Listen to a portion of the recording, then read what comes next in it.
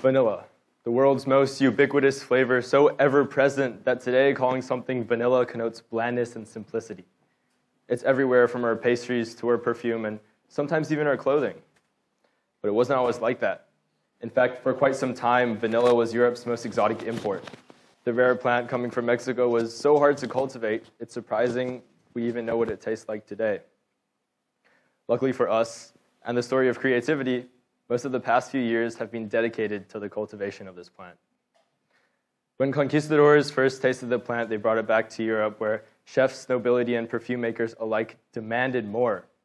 However, due to the troublesome nature of vanilla's cultivation, Europeans had to embark on a journey through scientific discovery and forced labor. But most of all, creativity.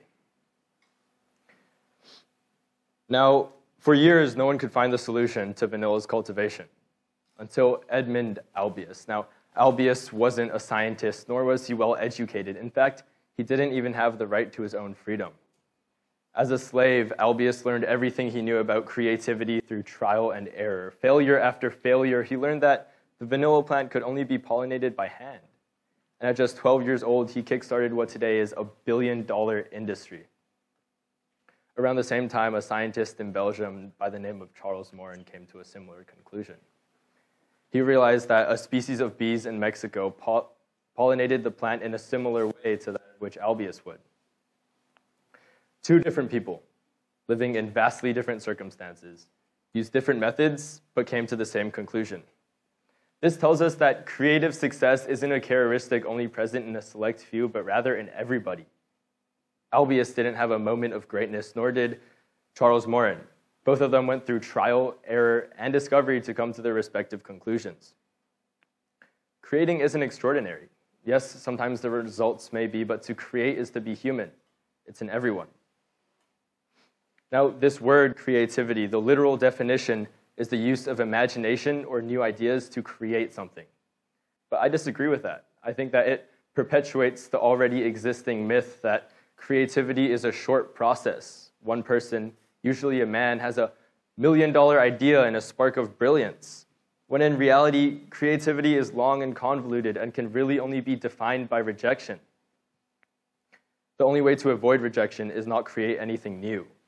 Creativity is a maze, and sometimes the only way to move forward is to move backwards. You have to rethink and reevaluate, find what's wrong, and fix it. Because you can't go through a maze with only moving forward. Most of the times, the exit's already behind you. This mindset will allow us to understand that creation is the destination, but creativity, the ordinary act. So we all know that creativity comes in various shapes and sizes, but whatever the medium, creation is an incredibly powerful tool. Over winter break, I worked as an intern at a startup company which developed modular smartwatches. The people there outlined what creativity meant to them, and they split it up into three tiers of creativity. The first one being to create. At its simplest form, creativity is simply creating. But it's a lot harder than it sounds, but everybody's capable. In fact, at our school, we're given plenty of opportunities to create. We write in English class. We create works of literature, robots and robotics, and so much more. But that's where it stops. We never reach the second creativity, which is work that inspires others. Now, it's a lot harder, and the creator might not know for years. In fact, Vincent van Gogh died penniless he thought of himself as an utter failure. But now he's inspiration to artists and makers everywhere. This is evident in successful people as well. YouTubers and movie makers have been incredibly successful at inspiring the rest of our population, but we don't strive to see this at our school. This leads me to the third tier of creativity, which is work that allows others to create. Now, this is why Apple makes computers and smartwatches, and Google runs a search engine. This may come in the form of a startup weekend at our own school, or even a TEDx event much like this one. At school, we aren't challenged to reach this level of creation. If anything, we aren't even challenged to create work that inspires others. Rather, we're fixated on getting the highest grade possible and following teacher rubrics, when in reality, we should be focused on our passions and be learning from our mistakes.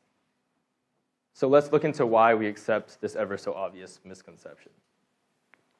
For years, we've lived thinking that if we create something better than we've had before, the world would give whatever it took to get their hands on such a product. This is why in the 1800s, Ralph Waldo Emerson wrote, Build a better mousetrap, and the world will be the path to your door. But since then, every year there have been 400 mousetrap patents, 40 of which are issued. This means that since Emerson, there have been 5,000 new mousetraps.